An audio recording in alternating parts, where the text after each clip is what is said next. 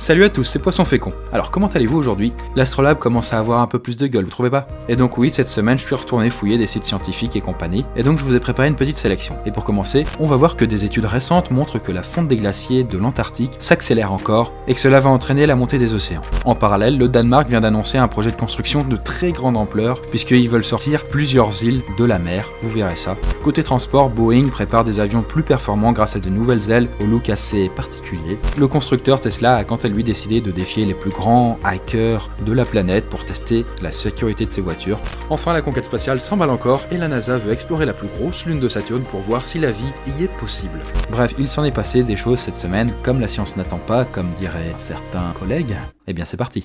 Nous allons commencer cette vidéo par une nouvelle assez peu réjouissante puisque du côté du réchauffement climatique, l'Académie américaine des sciences a publié lundi dernier un rapport sur la fonte des glaciers en Antarctique. Et c'est plutôt déprimant. En effet, la glace fond 6 fois plus rapidement qu'il y a 40 ans. Et si vous voulez quelques chiffres, eh bien dans les années 80, il faut savoir que l'Antarctique perdait à peu près 40 milliards de tonnes de glace par an. Et de 2009 à 2017, la quantité a atteint plus de 250 milliards de tonnes chaque année. Ça fait beaucoup de glaçons en moins dans vos cocktails, hein, moi je dis. Mais du coup, c'est bien joli tout ça, mais en quoi ça nous concerne? Bah, C'est assez simple, hein, la fonte des glaciers est grave pour la planète sur tout un tas de niveaux, mais en voilà déjà deux. Alors d'abord, les glaciers retiennent la moitié des réserves d'eau douce de la planète, et donc quand ils fondent, ça se dissout directement dans l'eau de mer, qui elle est salée, et donc ça va perturber complètement son équilibre, les plantes, la poiscaille, tout ça quoi. D'autre part, en parlant des océans, eh bien une grande quantité de glace fondue fait monter leur niveau, et donc la fonte de l'Antarctique pourrait faire augmenter de plusieurs mètres le niveau des océans dans les prochains siècles. D'ailleurs, l'étude prévoit une montée d'à peu près 2 mètres du niveau de la mer d'ici 2100, et donc avec ça on pourrait dire complètement bye bye aux villes côtières. hein. Et au passage, l'Antarctique renferme assez de glace pour provoquer une augmentation de 60 mètres environ du niveau des mers. On a donc tout intérêt à ce que ça fonde pas.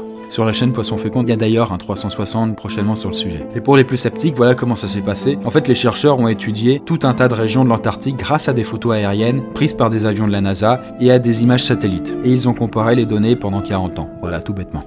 La longueur du tuyau, c'est l'épaisseur de la couche de glace qui a fondu dans le bas du Groenland depuis 5 ans. Boeing vient de dévoiler un nouveau concept d'aile ultra fine qui permettrait d'augmenter la vitesse de ses avions, tout en réduisant à la fois leur consommation d'énergie et leur bruit.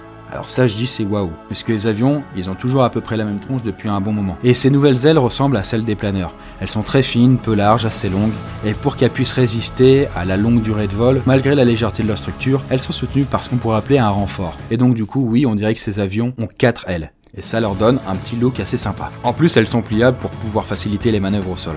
Et au-delà de leur apparence, ces ailes ont plusieurs objectifs. Alors déjà, il y aura moins de résistance dans l'air, donc du coup ça permettra de moins consommer. Boeing estime d'ailleurs à peu près à 8% la consommation moindre de carburant en vol. Et en termes de vitesse, les avions pourraient atteindre un rythme de croisière de 1000 km par heure grâce à ces ailes. Et donc pour vous donner une petite idée, si vous faites un Paris-Los Angeles, ça vous ferait économiser 2h30 de voyage. Enfin d'ailleurs, la dernière amélioration permise par ces ailes n'est pas des moindres puisque ça parle de votre confort direct. Grâce à ça, le bruit que font les avions dans le ciel serait considérablement réduit. Alors qu'est-ce qui vous plaît ici? Le silence. Est-ce que vous saviez que le maire de Copenhague au Danemark a un plan urbain de grande ampleur? Eh ouais, puisqu'il veut construire une immense zone industrielle et de loisirs pour booster l'économie de la ville.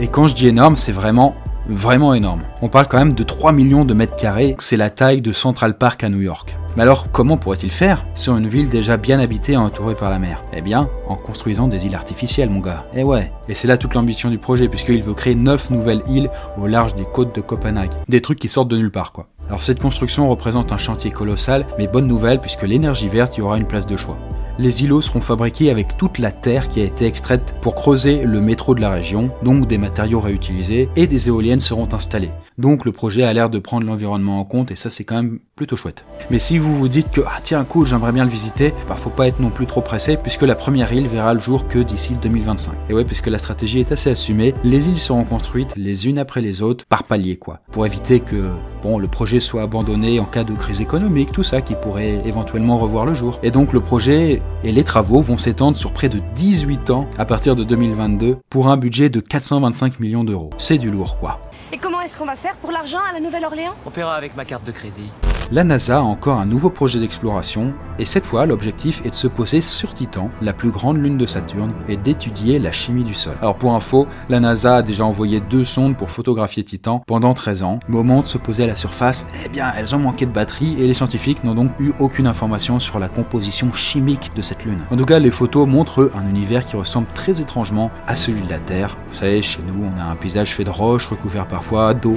Et bien sur cette lune, c'est constitué de glace d'eau recouvert par endroits de composés organiques. Du coup, les scientifiques pensent que Titan est compatible avec certaines formes de vie. Et oui, puisque les Chinois essayent en ce moment même, hein, comme on a parlé dans une ancienne news, de faire pousser des patates sur notre lune, il n'y a pas de raison qu'on n'essaye pas d'aller voir si on peut pas faire pousser autre chose dans des mondes encore plus lointains. Alors ce nouveau projet est appelé Dragonfly et il consiste donc de créer et puis d'envoyer une sonde très perfectionnée, voilà un genre d'hybride entre un drone et les sondes envoyées sur Mars, afin de pouvoir étudier le sol de Titan. Mais aussi et surtout les réactions chimiques sur cette lune pour déterminer si la vie y est possible, ou peut-être un jour a-t-elle existé dessus Ce serait quand même fou. Alors pour l'instant, hein, tout ça c'est du conditionnel, hein, évidemment, puisque rien n'a été voté. Et comme l'exploration coûte cher, hein, eh bien la NASA hésite entre le financement donc de Dragonfly et d'un prélèvement d'un échantillon d'une comète. Comme quoi, bon bah on n'a pas non plus tous les mêmes dilemmes dans la vie.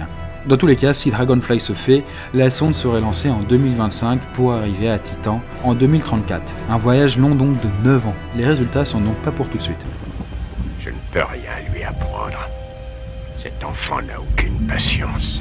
La société automobile, vous savez Tesla avec Elon Musk étonne encore puisque cette année, elle promet de donner une Model 3, donc une bagnole plutôt pas mal, hein, complètement électrique, ultra rapide, à celui ou celle qui arrivera à pirater son système. Et c'est dans le cadre du concours annuel du piratage Pound to Own que ce pari un peu fou a été lancé. Alors ce concours est un événement incontournable hein, pour les hackers white hat, hein, c'est-à-dire les pirates informatiques qui veulent utiliser leur talent pour faire progresser la sécurité des marques au lieu d'essayer de la détruire. Sinon ce serait des black hats.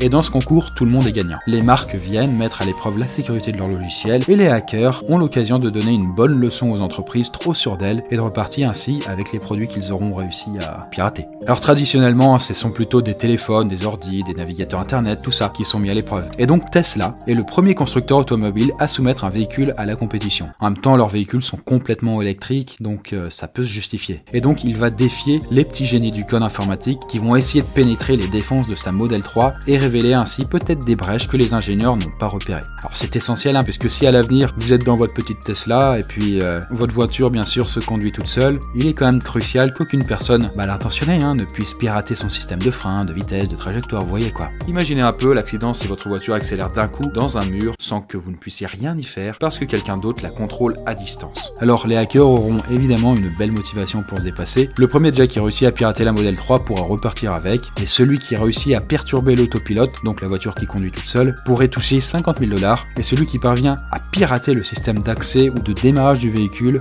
avec un smartphone est éligible à un prix de 100 000 dollars. Donc on verra si tout ça porte ses fruits, ce sera en mars 2019 à Vancouver, lors de la 12e édition du concours. Tu peux me dire ce que tu fais? Je pirate le FBI. Et voilà, c'est tout pour aujourd'hui. J'espère que cette vidéo vous a plu. Alors si c'est le cas, hein, comme d'hab, hein, n'hésitez pas à vous abonner à l'Astrolab. Vous avez le petit bouton là, vous pouvez suivre toutes les actualités science, high-tech. Ça fait toujours plaisir de pouvoir voir cette chaîne qui continue à augmenter. On est à présent d'ailleurs 23 000 sur la chaîne, donc merci beaucoup. Ce n'est que le début. N'hésitez pas à en parler aux autres. hein, Si vous voulez suivre les news sur le sujet, je veux dire, euh, c'est fait pour quoi. N'hésitez pas aussi à donner vos retours, etc. Comme d'habitude, mon équipe et moi-même, on lit tout ça. Et sur ce, je vous dis à la prochaine.